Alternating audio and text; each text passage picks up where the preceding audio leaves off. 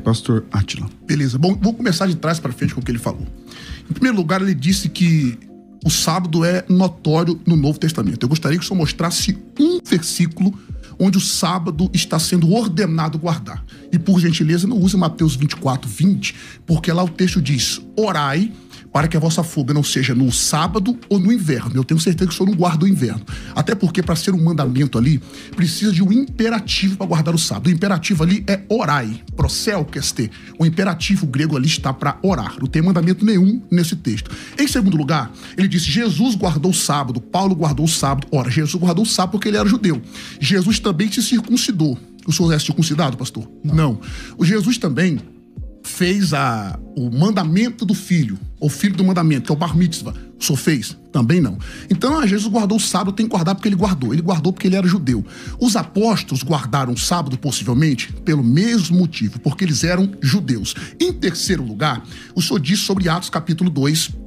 Atos capítulo 2 é uma prova contra o Senhor. O derramar do Espírito Santo foi derramado num dia de domingo. O primeiro culto que aconteceu no Novo Testamento foi no domingo. O segundo culto também foi no domingo. Jesus se manifestou cinco vezes no primeiro domingo e mais uma vez no segundo domingo. Então nós temos claramente sobre a igreja se reunir todos os dias. É pelo menos interessante que em Atos capítulo 20, verso 7, em 2 Coríntios capítulo 16, verso 2, nós vamos ver ele se reunindo no dia do domingo. Outro ponto que o senhor disse também, que eu acho muito ruim a sua fala nesse sentido, por quê? O senhor disse, ah, se a pessoa cometer adultério, então não é pecado. O problema, pastor, é que nós temos nove vezes no Novo Testamento.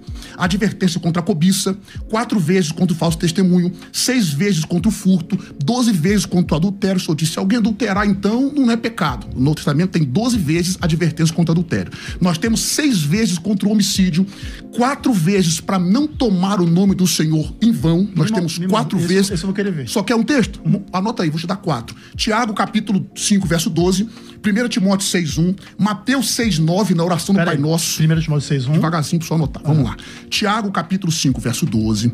Timóteo, capítulo 6, verso 1. Mateus, capítulo 6, verso 9. E Mateus, capítulo 5, do 33 ao 37. Anote aí, uhum. senhor. Depois a gente vai conferir esses textos. Inclusive, quero citar só um desses. Mateus 6, 9, quando Jesus disse bem assim, ó.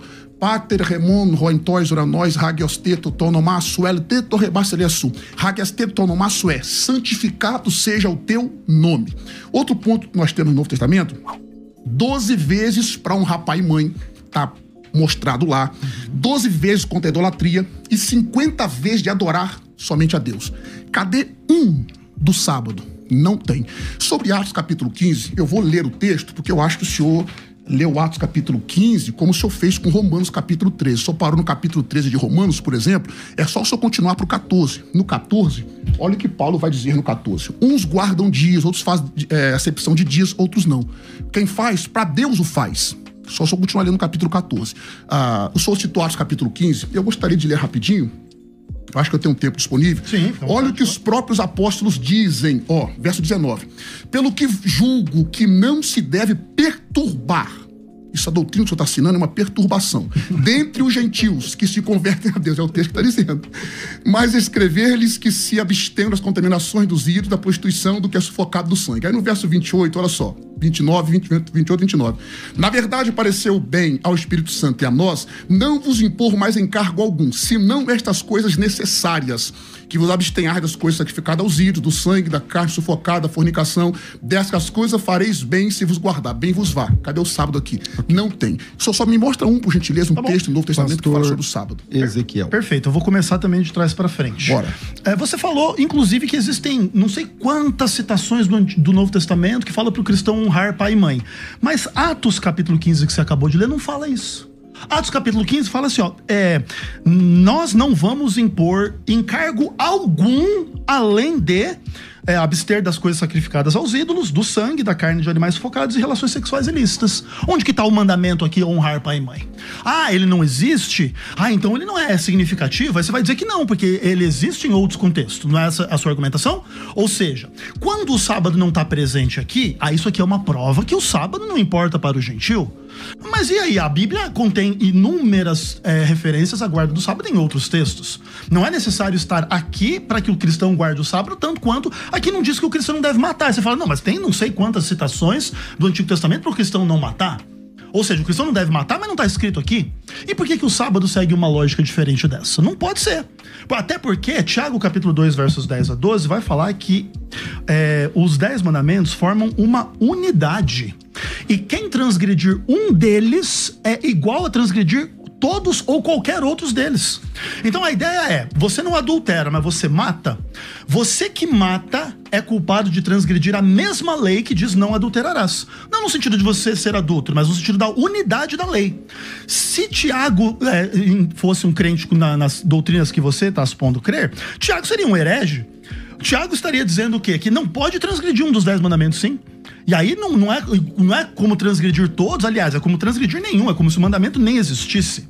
Não existe esse tipo de argumentação. Outra coisa, você fala que então é, você quer um mandamento notório, explícito no Novo Testamento, como uma ordem, lembra-te do dia de sábado para o santificar.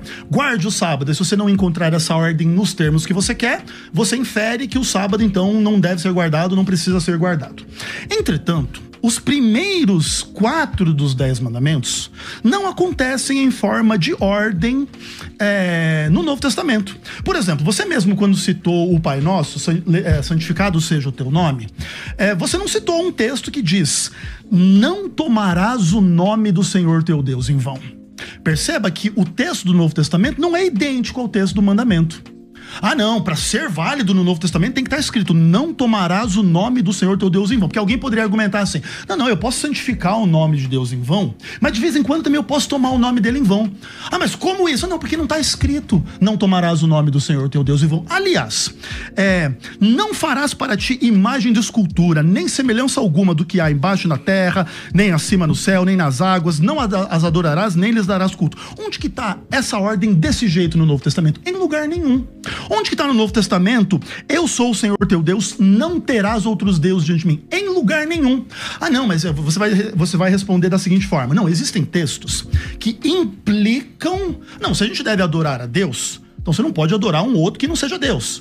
Não, você tem que santificar o nome de Deus, então você tem que é, não tomar o nome de Deus em vão. Você, você vai pegar, você vai dizer o seguinte: que textos que falem daquele tema sem explicitamente repetir a ordem, são válidos para dizer que o mandamento é válido. Então eu vou dizer que todas as menções no, do Novo Testamento ao sábado fazem a mesma coisa.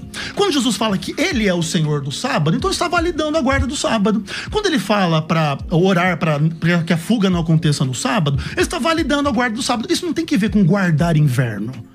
Quando Jesus fala referência a inverno e sábado, é, a, a, o sábado tem uma referência que o inverno não tem. Em nenhum momento da lei de Deus diz para você guardar o inverno. Então, obviamente, a razão pela qual Jesus fala para orar para que a perseguição não caia no, no, inverno é um motivo que não é idêntico à da guarda do sábado. Mas o fato é, quando ele diz para você orar por uma coisa que vai acontecer no futuro, 30 anos depois, 50 anos depois, mil anos depois, para você orar para que aquilo não aconteça no sábado, é porque o sábado vai ser válido até lá na frente. Todas as vezes que Paulo então estava na sinagoga no sábado. Quando em Atos 16 Paulo sai do lugar de oração lá, aliás, sai da cidade de Filipos e vai para um lugar de oração no sábado, que era um lugar que não tinha nem sinagoga, e no sábado ele vai procurar um lugar para oração. Outra coisa, é, em Atos 25 verso 8, Paulo diz que ele não cometeu nenhum pecado contra as leis dos judeus. Significa que ele guardou todos os sábados, porque se ele não tivesse guardado um, ele não poderia dizer isso, ou ele seria um mentiroso na palavra de Deus. Então, o sábado ele simplesmente faz parte da lei de Deus. E, e por exemplo, a, é, Romanos 13, Romanos 14 não podem estar em contradição.